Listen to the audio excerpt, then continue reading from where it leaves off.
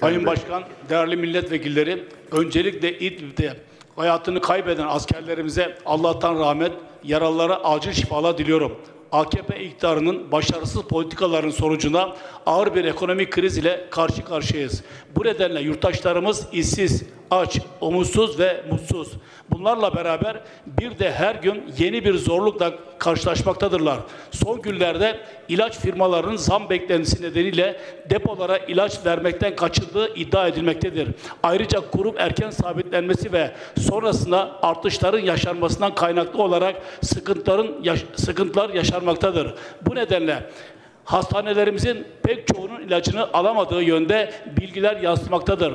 Tansiyon, epilepsi, grip ilaçları hatta ağrı kesicileri dahi bulunmadığı yurttaşlarımız tarafından vurgulanmaktadır. Sağlık hizmeti tarafından en temel sosyal hakkıdır ve devlet bunu kar ya da tasarruf etmeyi düşünmeden